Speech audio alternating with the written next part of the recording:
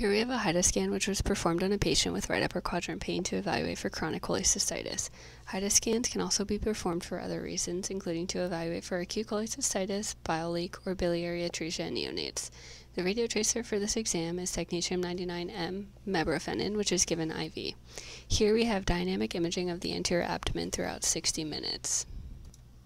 On this initial image, we can see this linear activity, which corresponds to activity within the right upper extremity from the injection. We can also see activity within the cardiac blood pool.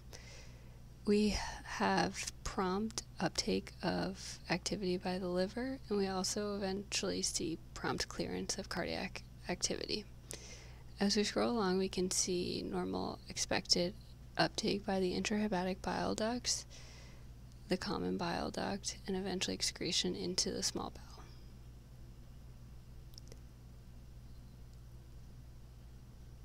At about this time, there is activity within the expected location of the gallbladder, which continues to fill throughout the duration of the study.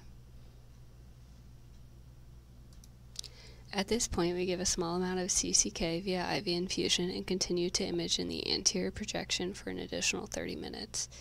Here we can see that the activity in the gallbladder is decreasing throughout the rest of the study.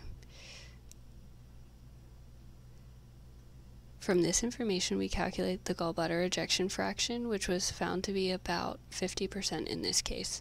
A gallbladder ejection fraction greater than 30% is considered normal. This is a normal HIDA scan with a gallbladder ejection fraction in the normal range.